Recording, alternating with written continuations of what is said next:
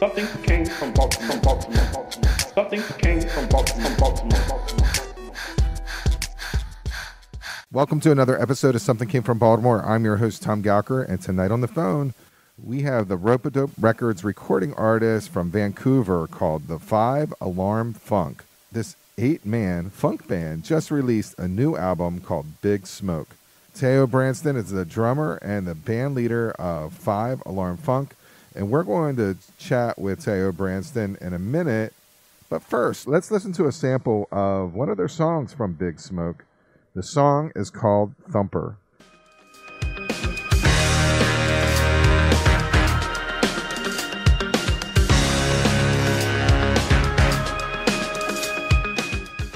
Tayo Branston, welcome to Something Came from Baltimore. Thomas, finally. Yeah. Yes, my man. I'm sorry I missed you the other day. This we were whole- throwing a big old birth. We were playing a big, big old birthday party. yeah, yeah. It's Well- been a crazy time for fucking everybody, man. I guess you have it set up where the album comes out early summer and then you can tour all summer long off the album. Without those eyes, it's kind of hard for them to know that you got an album out there. We've done it. I think we've done a really good job of promoting the record, getting the record out there. Like we've got, you know, a record number of new Spotify listeners and stuff like that. But uh, you know, the way it makes the band makes his money is off touring. Like that's how we actually make dough. You know. Uh, so so to not be able to tour the record is definitely like it's it's a very weird time. It, it feels like uh, there should be tons of success and momentum going on, and the release was great. Uh, and we're working with Ropeadope Sir, who who uh, you know was helping us promote the record and and putting out internationally and everything. So it still feels really good, but to not be able to tour the record is, is definitely um, yeah, it's a weird thing for the band to have to go through. You know, there's all this excitement, but we don't get to personally feel like see that excitement firsthand. You know. Sure. Yeah, definitely. And uh, when you play, are you are you festival oriented? Are you like in festivals? Are you in jazz? Like your this album crosses over a couple genres. It's funky and it's it can be considered even jazz. Are you doing jazz festivals? Are you doing like kind of like just regular rock festivals? Or are you by yourself? Uh, no, no, we, we we played like tons of jazz festivals, tons of world festivals, uh, folk festivals. Uh, we are definitely like a festival oriented band. I mean, we run off festivals and, and then we run clubs in between festivals. So so big, you know, music venues kind of thing. Um, and and that's where we've always been, you know. And I think that's where Five Alarm really lives is at music festivals. That you know we're in a, a, a super fun band, super exciting band to watch visually, and uh, and you know our music does cross those borders. So we we can fit into world music festivals. We do fit into jazz festivals. We fit into folk festivals. Uh, it, it must be a drag. You got this great album and it's ready to, to run through it, and you just don't have that interaction with the people. Yeah, I mean that is the toughest part, but it, it, it's also like for for us personally, I think it's really cool that we've been able to get a record out during this time. Like we had this record ready uh, for when we started touring this summer, and sure the touring isn't happening, but just to have this record out and keep the band prevalent and keep the band pushing forward um, has been super important for us to do, and it's been you know, it, it, it's made it an exciting time Oh, definitely. um, to Are- be a group, right? Are you are you new with Ropeadope? Is this your first album with them? This is our first album with Ropeadope, Yeah. uh, but you know, we got seven studio records under our belt. We've been going since 2003 is when we first kind of, you know, got into a jam room together and started playing. So, uh, so yeah, it's been a long run and it's been really exciting. And the Ropeadope team is awesome. And it's weird. Uh, awesome. Funk is that like everyone loves funk. Everyone loves to listen to funk. But then you have stations that are funk stations and they're only playing the oldies. And it's hard to get current artists who really has a great sound to get on them. So I'm kind of curious as to where do you fit in the ethos of getting out there? You're going into international markets, but in American soil, I guess you're looking for like a, a AAA format, maybe a, a, a jazz radio station that that maybe uh, putting on your tracks? Yeah, I mean, it's important for us to get on those Spotify playlists and, and to uh, get out. I mean, we do a lot of college radio as well. College radio is great for funk, but really, like, that's never been a focus of the band. You know, we've always just focused on touring, and that's kind of been how we succeed. And it, it, it's the best way for a funk band to succeed because everybody does love that music, but not everybody listens to it all the time, right? If you're sitting at your house, you may not turn to funk as one of your first things, but if you go out and there's funk play, you're going to have an incredible time. And so we've always just, you know, uh, pushed and pushed and pushed to be getting into these jazz festivals, live music festivals, um, and and and focusing less on on what say radio or streaming or our album sales are going to do because we're not we're not putting stuff out that's going to be extremely popular on the radio. You know we're putting out music that that when we play live it makes people go bananas. Okay so when i'm listening to this album i'm kind of digging into it and in the early days when when rap had samples i would go okay they're sampling this they're sampling that. But when it comes to this album things sound familiar but i can't understand if you're pulling from samples, are you looking at older funk artists to say, okay, we're going to take this drum pattern or we're going to take this horn stab? Uh, I went through the whole album with a notepad, and the only thing that I got close I love to, that. That's great. I know, I know. I'm like, I'm like, I'm gonna crack this code because um, I was like, I'm real good at it normally, and uh, uh, Uga has towards the end, uh, uh, it's a pattern of horns.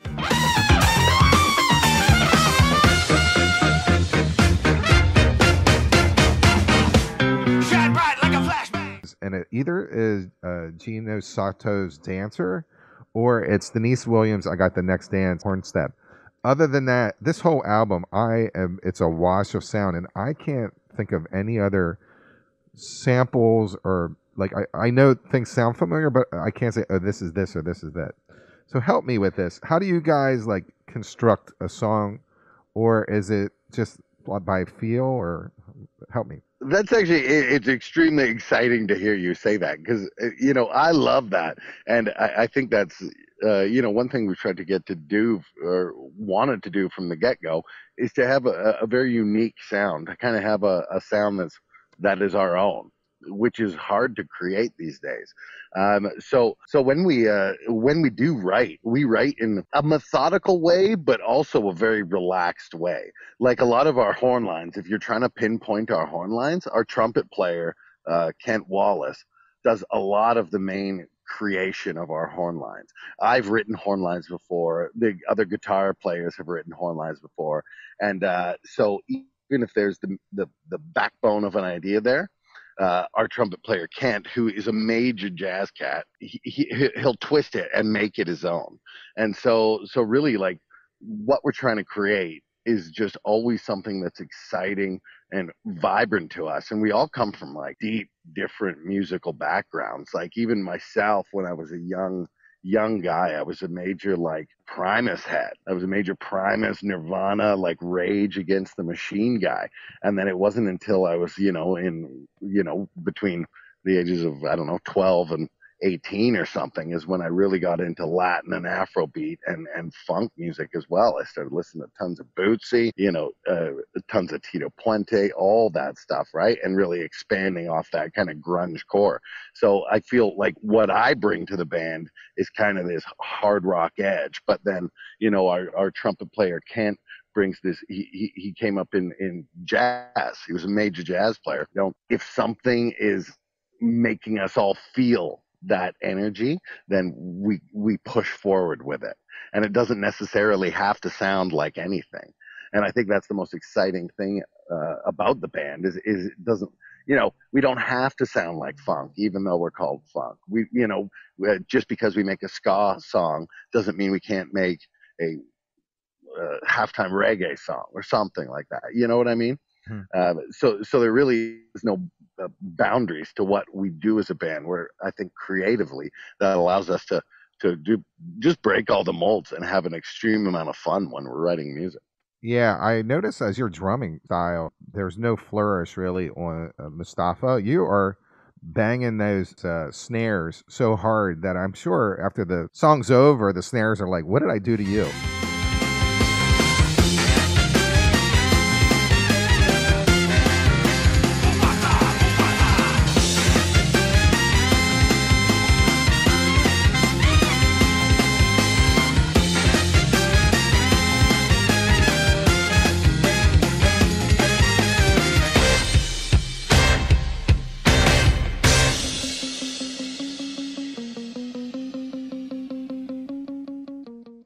Yeah, and those those are pretty ag- aggressive rock songs, but then you take the rest of the song and it kind of has this like ska-ish feel to it, right? And they're they're like to me those are kind of light and breezy, but super aggressive at the same time, which is what I love. And I mean, anytime like I have a really hard time playing quiet.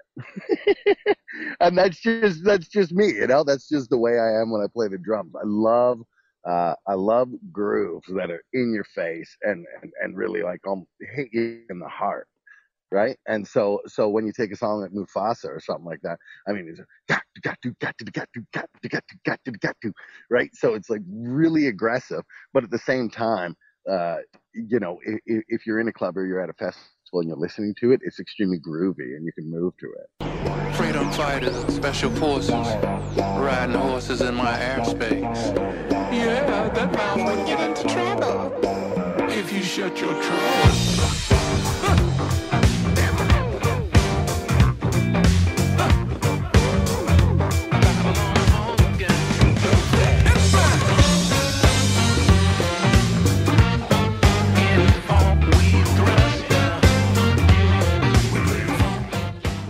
And you got Bootsy on this album, so we got uh, we play the funk. How'd you get him on this album? Uh, that was our first track that we've ever done with Bootsy, and it, and and it was awesome. Uh, I mean, you know, it, we were coming out with, uh, and that's a remix of our song "Capital City." We turned it into "We Play the Funk," and and, and we were thinking of, you know, who is one of our favorite uh, inspires, our favorite artists collectively as a band, and we we thought of Bootsy. We said Bootsy is is the guy. He's got such an amazing um, way of of doing his lyrics and and just how he vocalizes things and how he says things is so incredibly creative. Um, so so we wanted to team up with Bootsy, and and uh, it literally just came down to to reaching out and talking, and that's what's so nice about you know the world of music is it kind of you know it, it just transcends all borders. We can be the most different people in the world, uh, but when there's music brought to the table, you can you can get together and really enjoy the same thing. So uh, so we shot Bootsy a message. We said, hey, we have this we have this uh, wicked foundation for a funk tune. You know, we introduced ourselves, and we said we'd love to have you on the track. Like, are you interested?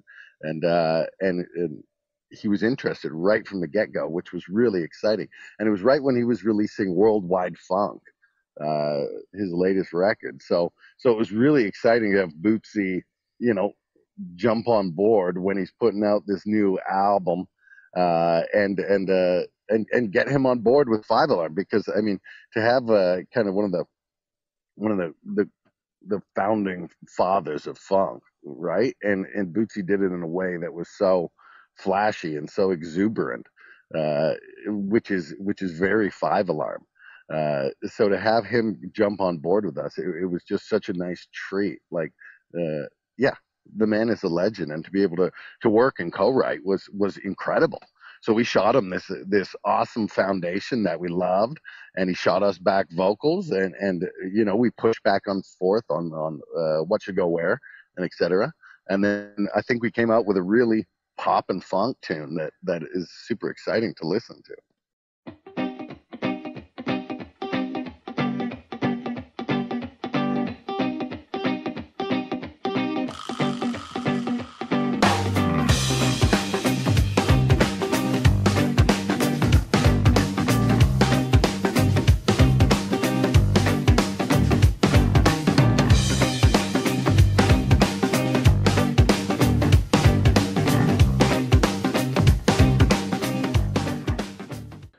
Album cover. You got three guys in uh, Mars or or on the moon. They're Uh, on the moon, baby. What? uh, what? uh, It's it's a pretty cool looking uh, album cover, but is there a political statement attached to it? Uh, it's not as much a, a political statement as it is, uh, you know, a statement of just the, the situation that the world is in. I mean, we did a record, uh, Abandon Earth, uh, a few years back. That was kind of a, it was a, it was a, it was a nod to global warming, but it was based in this fantastical world where a psychotic ice cream man, uh, takes the band on a psychedelic journey through their minds and realizes that you know we are destroying the world with with what we do as human beings right? So that was abandon earth. So we really wanted to play off that. And um and the song big smoke uh, the actual song big smoke was written when there was just savage forest fires all across bc it was one summer uh, it was so hot and the forest fires started in in march or something like that so even even though they were roaring in the hills like uh, hundreds of kilometers away from us. Vancouver was just blanketed in in smoke. Like you couldn't, you know, you didn't see the sky for all of August or something like that. It was just incredibly smoky and and uh, and so so it, it's it's a nod to kind of global warming and, and the and the way that the Earth is treated. And so this is kind of like the salvation of of these you know of these three astronauts they're kind of starting humanity over again on the moon and trying to do it in a way that maybe they see they could uh, start a functioning society Thank you, Tayo uh, Branston. The band is called Five Alarm Funk. The album's called Big Smoke, and it is on the Ropeadope Records, and it is out now. Absolutely man. Thank you so much for having me on and it, it's been a pleasure talking with you thomas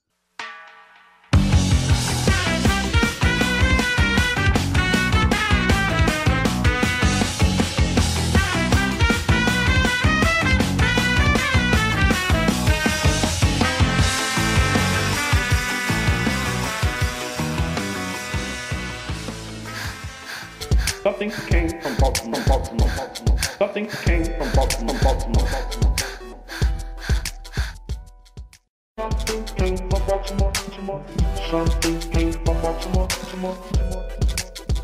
Hi, it's Tom Gauker, and I am the host of Something Came from Baltimore. Something Came from Baltimore is a words and music podcast, and it has famous and future famous artists. Artists like Sean Jones, Rupert Holmes, Auntie Hammy, Joey DeFrancesco, Go-Go Penguin, Joey Alexander, Bucanti, Gerald Albright, Paula Cole, and Kat Edmondson. It's music that matters. It's music for your ears. Listen and subscribe to Something Came from Baltimore and be a part of that Be More music scene.